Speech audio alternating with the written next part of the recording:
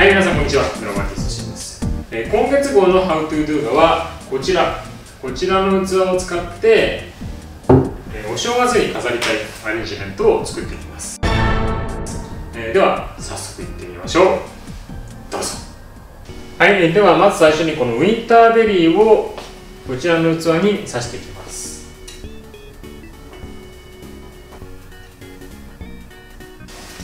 はい、えーこちらでウィンターベリーが入りました。はい、えーここで緊急のお知らせです、えーカメラのアクシデントでこのダリアちゃんを入れる貴重なシーンが飛んでしまいました。皆様大変申し訳ありませんでした。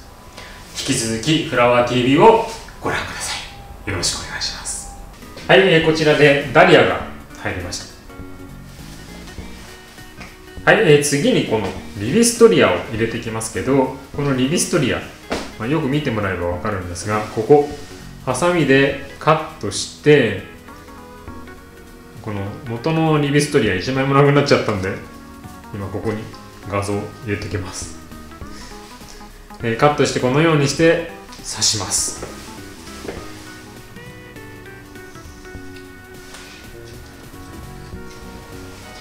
はい、えーこちらでこちらリビストリアがね入れ終わりましたはい、またここで緊急なお知らせです。えーこちらのですね、難点ちゃんを入れるシーンがカメラのアクシデントでなくなってしまいました。えー大変申し訳ございません。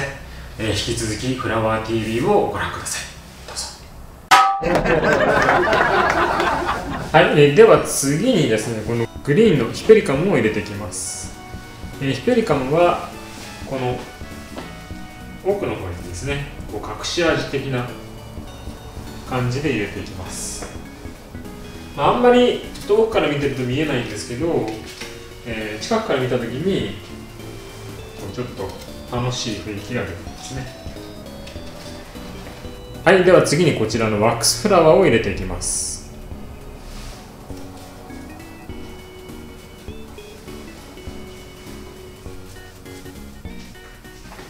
はい、えーでは次にこちらのなでしこを入れていきます。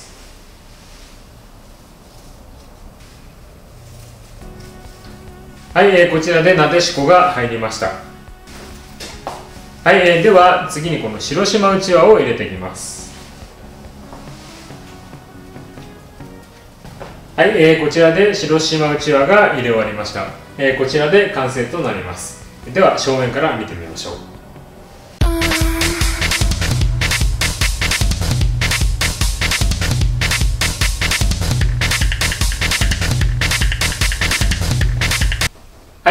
ちらのアレンジメントはいかがだったでしょうか、えー今回のアレンジのポイントはやっぱりこのウィンターベリーのこうラインの使い方とあとやっぱお正月に飾る新年に飾るお花ということでこの端材のチョイスですね。がやっぱりこう重要なポイントになってくると思います、えーぜひ皆様もお正月にお家にこうお花をねアレンジメントを飾って素敵な新年をお迎えください。ではまた次回お会いしましょう。Next time